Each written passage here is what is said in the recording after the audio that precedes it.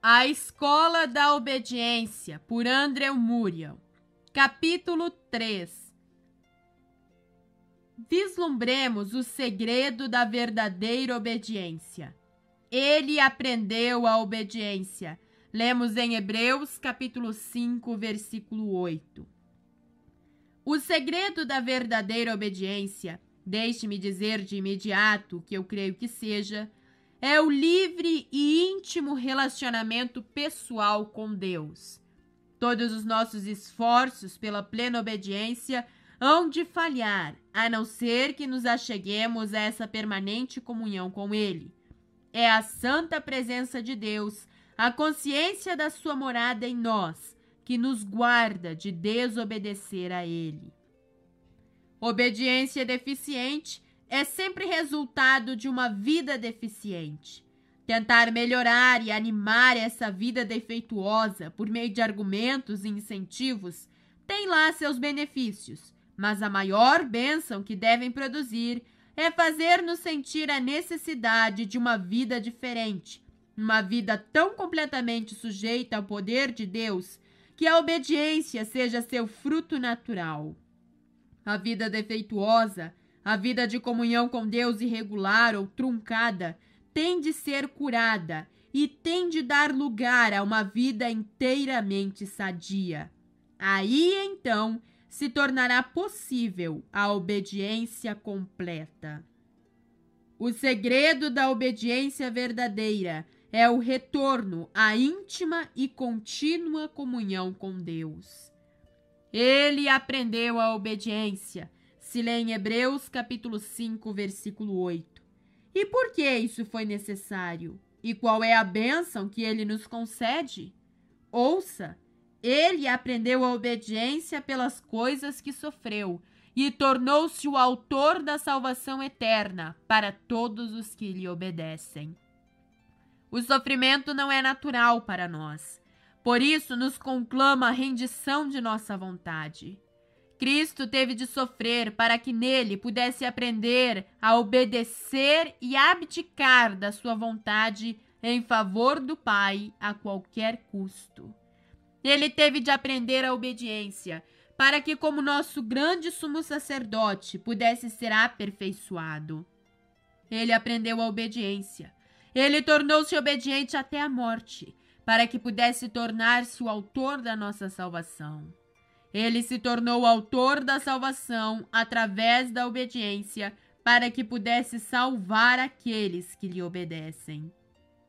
Da mesma forma que para ele a obediência era absolutamente necessária para conquistar a salvação, para nós ela é absolutamente essencial para herdar essa salvação.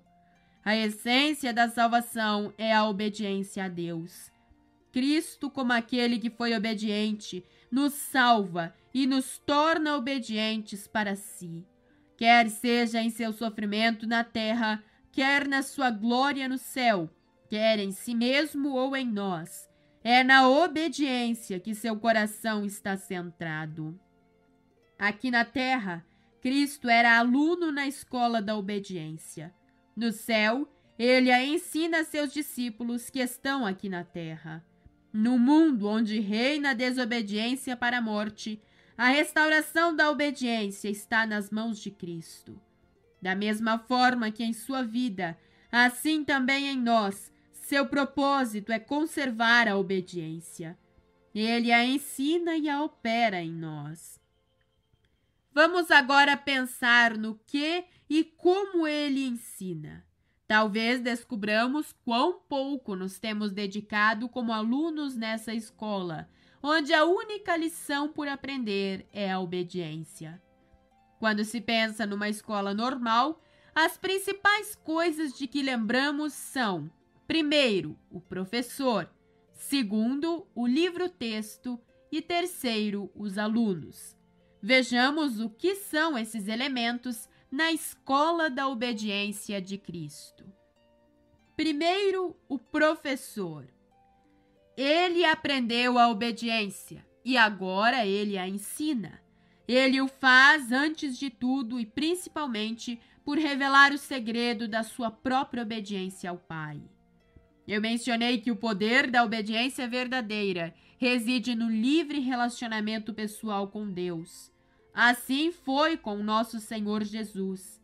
Ele disse a respeito de tudo o que ensinou: Porque eu não tenho falado por mim mesmo, mas o Pai que me enviou, esse me tem prescrito o que dizer e o que anunciar. E sei que o seu mandamento é a vida eterna. As coisas, pois, que eu falo, como o Pai me tem dito, assim falo. Lemos em João, capítulo 12, versículo 49 e 50. Isso não significa que Cristo recebeu os mandamentos de Deus na eternidade como parte da comissão do Pai para ele ao entrar neste mundo. Não! Dia após dia, cada momento, à medida que ele ensinava e trabalhava, ele viveu como homem em contínua comunicação com o Pai e recebeu as instruções do Pai à medida que necessitava delas. Ele, por acaso, não disse que o filho nada pode fazer de si mesmo, senão somente aquilo que vir fazer o Pai, porque o Pai lhe mostra tudo o que faz, e maiores obras do que estas lhe mostrará como se lê em João, capítulo 5, versículo 19 e 20. Em João, capítulo 5, versículo 30, na forma por que ouço julgo. Não sou eu só, porém eu e aquele que me enviou, que se lê em João, capítulo 8, versículo 16. E ainda, as palavras que eu vos digo, não as digo por mim mesmo, mas o Pai que permanece em mim faz as suas obras, conforme João capítulo 14, versículo 10? Em todo lugar se vê uma dependência da constante e permanente comunhão e operação de Deus, em ouvir e ver daquilo que Deus fala, faz e revela. Nosso Senhor sempre falou do seu próprio relacionamento com o Pai, como tipo e promessa de nosso próprio relacionamento consigo mesmo e com o Pai através dele. Da mesma forma que ocorria com ele, nossa vida de obediência contínua é impossível sem constante comunhão e permanente ensino. É somente quando Deus entra em nossa vida, numa proporção e num poder que muitos nem ao menos consideram possível, quando cremos em Sua presença como o eterno e aquele sempre presente Deus, e quando aceitamos essa constante presença da mesma forma que o Filho a cria e recebia, que pode haver alguma esperança de uma vida na qual todo pensamento é trazido cativo à obediência de Cristo. É a imperativa necessidade de continuamente recebermos nossas ordens e instruções do próprio Deus, que encontramos implícito nestas palavras: Dai ouvidos à minha voz, e eu serei o vosso Deus. A expressão obedecer aos meus mandamentos é pouco usada nas Escrituras. Quase sempre se usa obedecer a mim ou dar ouvidos à minha voz com o comandante de um exército, o professor de uma escola, o pai de família. Não é o código de leis, embora claras e boas, com suas recompensas ou punições, que assegura a obediência verdadeira. O que o faz é a influência pessoal e vida, o amor estimulante e o entusiasmo. É a alegria de sempre ouvir a voz do Pai que dará alegria e força à obediência verdadeira. É a voz dele que dá poder para obedecer a palavra. De nada vale a palavra sem a voz que a vivifica. Quão claramente vemos isso ilustrado no contraste que encontramos em Israel. O povo ouviu a voz de Deus no Sinai e ficou com medo. Pediram a Moisés que Deus não mais falasse com eles. Queriam que Moisés recebesse a palavra de Deus e a trouxesse a eles. Eles pensavam apenas em termos de mandamentos. Não sabiam que o único poder para obedecer se encontra na presença de Deus e na sua voz falando conosco. E assim, tendo apenas Moisés falado com eles, e com as tábuas de pedra, sua história é toda de desobediência, porque eles temiam um contato direto com Deus. E a situação ainda é assim hoje. Muitos, muitos cristãos consideram muito mais fácil receber ensino de homens de Deus em vez de esperar em Deus para recebê-lo dele mesmo. A fé deles repousa na sabedoria dos homens e não no poder de Deus. Aprendamos a grande lição de nosso Senhor, que aprendeu a obediência, ao esperar a cada momento para ver e ouvir o Pai, para ver o que ele tem a nos ensinar. É somente quando, como ele, nele e por meio dele, andamos continuamente com Deus e ouvimos Sua voz que temos condições de conseguir oferecer a Deus a obediência que Ele exige de nós e promete operar em nós. Das profundezas de sua própria vida e experiência, Cristo pode nos ensinar isso. Ore fervorosamente para que Deus possa lhe mostrar a tolice de tentar obedecer sem o mesmo poder que Cristo necessitou e que Ele torne você disposto a abrir mão de tudo para que você tenha a mesma alegria de Cristo na presença do Pai durante todo o dia. Segundo, o livro-texto. A direta comunicação que Cristo mantinha com o Pai não significou independência das Santas Escrituras. Na divina escola da obediência, há apenas um livro-texto, quer seja para o irmão mais velho quer para a criança mais nova. No seu aprendizado da obediência, ele usou o mesmo livro-texto que nós temos de usar. Ele apelava à palavra, não somente quando estava ensinando ou procurando convencer os outros. Ele precisava dela e a usava para sua própria orientação e vida espiritual. Do início da sua vida pública até o seu final, ele viveu pela palavra de Deus. Está escrito: foi a espada do Espírito com a qual ele derrotou Satanás. O Espírito do Senhor Deus está sobre mim. Esta palavra das Escrituras era a certeza interior com que ele iniciou a pregação do Evangelho. Era a luz de, para que as Escrituras se cumpram, que ele se resignava a todo sofrimento e até mesmo se entregou à morte. Depois da sua ressurreição, ele expôs aos discípulos o que a seu respeito constava em todas as escrituras, como é dito em Lucas capítulo 24, versículo 27. Nas escrituras, ele encontrou o plano e o caminho que Deus lhe havia traçado. Ele se entregou para cumprir tudo. Foi na palavra de Deus e por meio dela que ele recebeu o contínuo e direto ensino do Pai. Na escola da obediência de Deus, a Bíblia é o único livro-texto. Isso nos revela a disposição com que temos de nos achegar à Bíblia, com o desejo simples de encontrar nela aquilo que está registrado a respeito da vontade de Deus para nós, com o propósito de cumpri-la. As Escrituras não foram escritas para aumentar nosso conhecimento, e sim para dirigir nossa conduta a fim de que o homem de Deus seja perfeito e perfeitamente habilitado para toda boa obra. É dito em 2 Timóteo, capítulo 3, versículo 17. Se alguém quiser fazer a vontade dele, conhecerá. É dito em João, capítulo 7, verso 17. Aprenda de Cristo a considerar tudo o que está nas Escrituras sobre a revelação de Deus e do seu amor e do seu conselho, como simples auxílios para o grande propósito de Deus.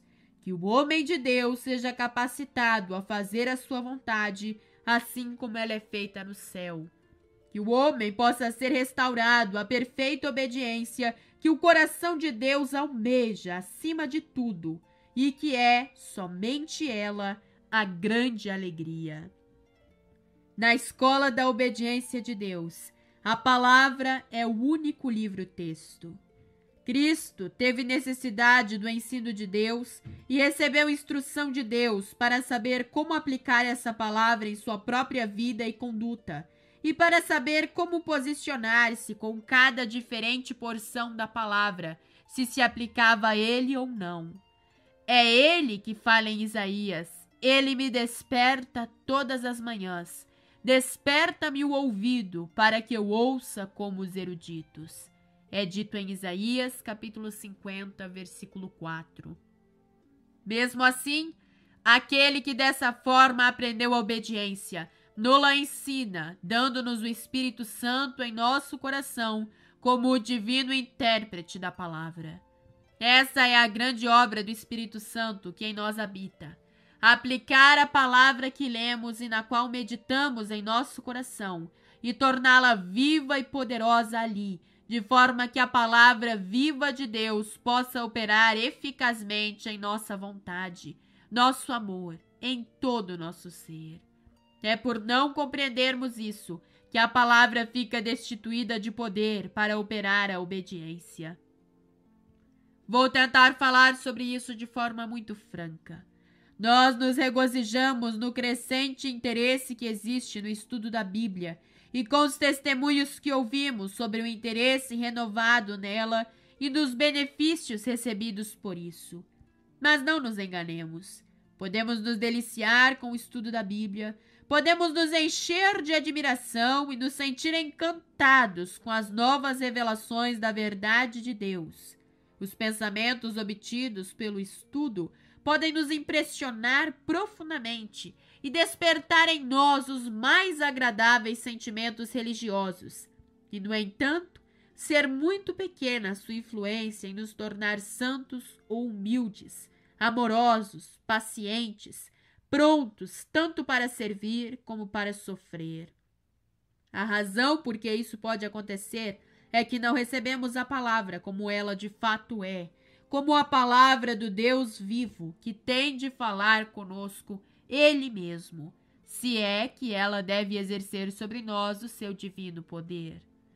A letra da palavra, embora a estudemos e nos deliciemos nela, não possui nenhum poder salvador ou santificador.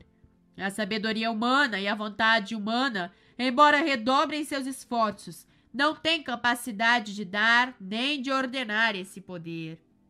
O Espírito Santo é o grande poder de Deus é somente à medida que o Espírito Santo ensina você, somente à medida que o Evangelho é pregado a você, ou por homens ou por um livro, com o Espírito Santo enviado dos céus, que ele realmente há de lhe dar, com cada mandamento, a capacidade de obedecer e operar em você a própria ordem que ele dá. Com o ser humano, conhecer e querer Querer e fazer, até mesmo querer e executar, estão, por carência de capacidade, muitas vezes separados ou até mesmo divergentes. Mas isso nunca acontece com o Espírito Santo. Ele é ao mesmo tempo a luz e o poder de Deus. Tudo o que ele é e faz e dá tem em si tanto a verdade como o poder de Deus. Quando ele mostra a você o mandamento de Deus, ele sempre o mostra como algo possível e capaz de ser executado, como um dom e como a vida divinamente preparada para você. E aquele que os está revelando é poderoso para comunicá-los a você. Amado estudante da Bíblia, aprenda a crer que é somente quando Cristo, pelo Espírito Santo, ensina você a compreender a palavra e a recebê-la em seu coração que ele pode de fato ensinar você a obedecer como ele mesmo obedeceu. Creia, toda vez que você abrir sua Bíblia, que tão certo como você ouve a divina e santa palavra inspirada pelo Espírito, assim o Pai, em resposta à oração da fé e à dócil espera, concederá a vivificante operação do Espírito Santo ao seu coração. Faça com que todo o seu estudo da Bíblia seja matéria de fé. Não apenas prove e creia as verdades ou promessas que você lê. Isso pode ser feito pelo seu próprio esforço. Em vez disso, creia no Espírito Santo, na sua presença em você, na operação de Deus em você através dele. Receba a palavra em seu coração, na tranquila fé de que ele o capacitará a amá-la, a ajustar-se a ela, a guardá-la, e nosso bendito Senhor Jesus fará com que o livro seja para você aquilo que foi para ele, quando falou a respeito das coisas que estão escritas a meu respeito. A Escritura toda se tornará na simples revelação daquilo que Deus fará por você, em você e através de você. Terceiro, o aluno. Já vimos como nosso Senhor nos ensina a obediência por meio da revelação do segredo de como ele mesmo a aprendeu em sua permanente dependência do Pai. Já vimos como ele nos ensina a usar o sagrado livro, como ele o usou, como uma revelação divina daquilo que Deus tem preparado para nós, com o Espírito Santo revelando e capacitando. Se agora considerarmos o lugar que o crente ocupa na escola da obediência como aluno, haveremos de entender melhor o que Cristo, o Filho, requer para efetuar em nós a sua obra com eficácia. Num aluno dedicado, há várias coisas que despertam e estimulam sua simpatia para com o professor confiável. Ele se submete completamente à sua liderança.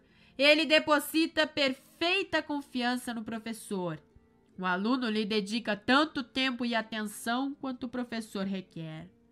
É quando nos apercebemos de que Cristo tem direito a tudo isso e nos dobramos a isso que podemos aguardar a experiência de quão maravilhosamente ele pode nos ensinar uma obediência como a que ele mesmo viveu. Observemos número 1. Um, o verdadeiro aluno, quer seja de um grande músico ou de um pintor, dedica a seu mestre uma confiante submissão de todo o seu coração. Quer seja na prática das escalas, quer seja na mistura das cores, no lento e paciente estudo dos elementos de sua arte, ele entende que é sábio obedecer com simplicidade e inteireza. É essa submissão de todo o coração à direção do Mestre, essa submissão implícita à sua autoridade que Cristo requer. Nós nos achegamos a Ele, suplicando que nos ensine a perdida arte de obedecer a Deus, assim como Ele o fez. Ele nos pergunta se estamos dispostos a pagar o preço. Isso significa completa e total renúncia de si mesmo. Isso significa abrir mão de nossa vontade, de nossa vida, até a própria morte. Isso significa estar pronto a fazer o que quer que ele mande.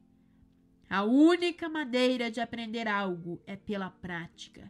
A única maneira de aprender a obediência de Cristo é abrir mão de sua vontade para Ele e fazer da vontade dele o grande desejo e prazer do seu coração. A não ser que você se comprometa com a absoluta obediência no momento em que você entra nesta sala da escola de Cristo, será impossível fazer qualquer progresso. Número 2. O verdadeiro discípulo de um grande mestre Considera fácil render-lhe essa obediência sem reservas, pelo simples fato de que ele confia no Mestre. Ele sacrifica com gratidão a sua própria sabedoria e vontade para ser guiado por outra superior. É dessa confiança que precisamos para com nosso Senhor Jesus. Ele veio do céu para aprender a obediência, para que fosse capaz de ensiná-la bem. A sua obediência é o tesouro pelo qual não só o débito da nossa desobediência passada é pago, mas por meio da qual a graça da nossa presente obediência é suprida. Em seu divino amor e perfeita identificação com a natureza humana, em seu divino poder sobre nosso coração e vida, ele convida, ele merece, ele conquista nossa confiança. É pelo poder da admiração pessoal, pela afeição à sua pessoa, é pelo poder do seu divino amor, por toda obra efetuada em nosso coração pelo Espírito Santo, despertando em nós um amor que corresponde ao dele, que ele desperta nossa confiança e comunica a nós o verdadeiro segredo do sucesso na sua escola. Tão absolutamente como confiamos nele, como o Salvador que nos resgata da nossa desobediência, Assim confiemos nele como o Mestre que nos guiará para longe da desobediência. Cristo é nosso profeta ou professor, um coração que com entusiasmo creia no seu poder e capacidade como professor, descobrirá para a alegria dessa fé que é fácil obedecer. É a presença de Cristo conosco todo dia que será o segredo da obediência verdadeira. E número 3. Um aluno dedica a seu mestre toda a atenção e aplicação que ele solicitar. É o mestre que diz quanto tempo tem de ser devotado ao contato pessoal e à instrução. A obediência a Deus é uma espécie de arte celestial. Nossa natureza é tão completamente avessa a ela, o caminho em que o filho aprendeu a obediência foi tão lento e longo que não nos devemos admirar se o aprendizado não vem de uma só vez. Não devemos nos admirar se for necessário muito mais tempo aos pés do Mestre, em meditação e oração, e espera, em dependência e alto sacrifício, do que a grande maioria está disposta a dar. Mas disponhamos nosso coração a dar esse tempo. Em Cristo Jesus, a obediência celestial se tornou humana outra vez. A obediência se tornou nosso direito de nascença e nossa natureza. Apeguemos-nos a Ele, creiamos na Sua presença em nós e roguemos por ela. Com Jesus Cristo, que aprendeu a obediência como nosso Salvador, com Jesus Cristo, que ensina a obediência como nosso Mestre, podemos viver uma vida de obediência a sua obediência. Não podemos estudar a lição com excessivo fervor. Sua obediência é a nossa salvação. Nele, no Cristo vivo, encontramos essa obediência e dela participamos momento após momento. Supliquemos a Deus que nos mostre como Cristo e sua obediência são de fato a nossa vida a cada momento. Isso fará de nós alunos que lhe dão totalmente o coração e todo o seu tempo. E ele há de nos ensinar a guardar os seus mandamentos e permanecer no seu amor, da mesma forma que ele guardou os mandamentos do seu Pai e permaneceu no seu amor. Amém.